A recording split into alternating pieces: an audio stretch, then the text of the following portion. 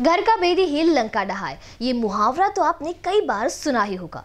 अब ऐसा ही एक मामला मेडिकल चौक स्थित इंडियन ऑयल पेट्रोल पंप से सामने आया है। वहाँ नौकरी करने वाले एक व्यक्ति ने ही पेट्रोल पंप से पैसे चुरा लिए।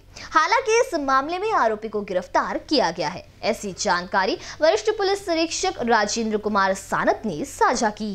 मिली जानकारी के अनुसार आरोपी धर्मेंद्र मिश्रा, ये इमामवाड़ा पुलिस थाना अंतर्गत आने वाले मेडिकल चौक स्थित इंडियन ऑयल पेट्रोल पंप पर नौकरी कर रहा था। उसने 7 दिसंबर को साढ़े नौ बजे के दरमियान पेट्रोल पंप मैनेजर के कैबिन से एक लाख बावन हज़ार नौ सौ रुपए नकद चुरा कर फरार हो गया।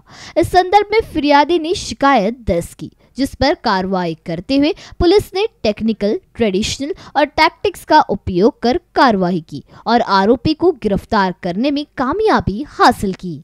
इस संदर्भ में वरिष्ठ पुलिस निरीक्षक राजेंद्र कुमार सानप ने अधिक जानकारी साझा की। अ, इमामवाडा पोलीस स्टेशनला दिनांक सात बारा दोन हजार एकवीस या दिवशी तीनशे एक्क्याऐंशी भादवी अन्वये गुन्हा नोंद झाला होता. आणि इन इंडियन ऑइल पंपचे मॅनेजर श्री विनय मनोहर कडवे यांनी फिर्याद दिली होती.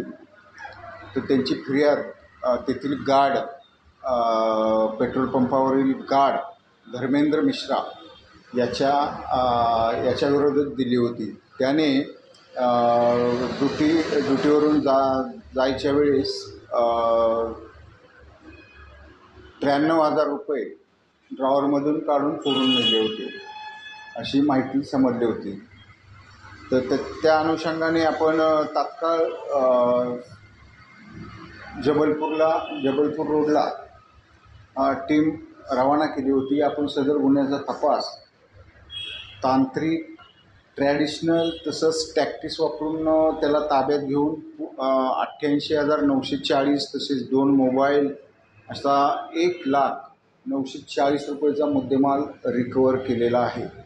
सध्या तो आरोपी अटकेत आहे आणि आपण कायदेशीर पुढील कारवाई करीत आहोत. तो साधारणतः पंधरा दिवसापासून नोकरीला होता पेट्रोल पंपावर.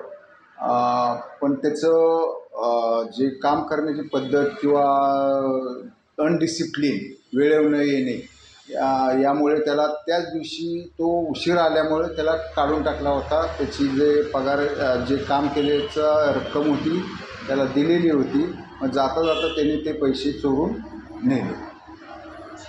पुलिस ने इस दौरान आरोपी से कुल एक लाख नौ सौ चालीस रूपए का मुद्देमाल जब्त किया। वहीं पुलिस द्वारा इस मामले में आगे की जाँच जारी है। कैमरा पर्सन अखिलेश भारद्वाज के साथ दिशा हटवार बीसीएन न्यूज़ नागपुर।